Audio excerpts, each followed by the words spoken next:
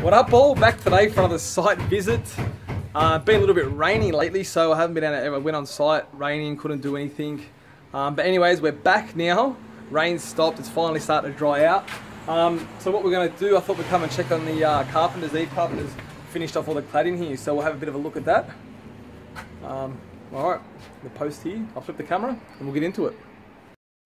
Okay, so as you can see here, we've got the uh, cladding running up. Now the cladding is mainly used here for a feature because as you can see here, the brickwork comes up.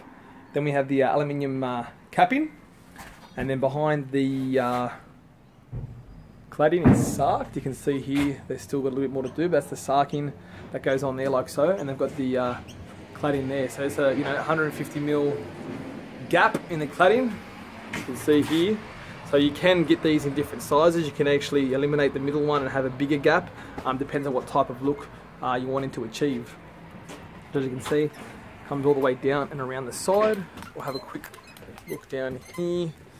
Same thing goes on down there, all the way down and around the side corner piece, which covers all the corner. Ready for the painter. Good luck. Now, as we were talking about outside, we've seen how the bricks finished halfway up.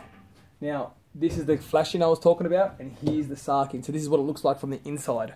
So this is hasn't been painted yet, but we actually got some just over here before the scaffold got pulled down that actually has already been painted. So you can see how it finishes just like so. These have been painted, ready to go. Now, cladding is also a, a you know what's used on here is used as a bit of a feature just to uh, add some texture to the front of the home. So you know, if you're thinking of different ways to add different textures, different features to the front of your home, uh, cladding is definitely uh, a good way of doing that.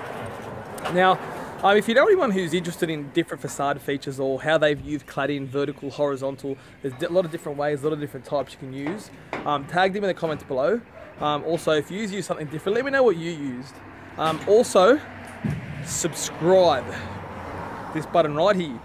Hit the subscribe button subscribe to YouTube. Um, all right, guys, thanks for joining me on today's site visit. Bye for now.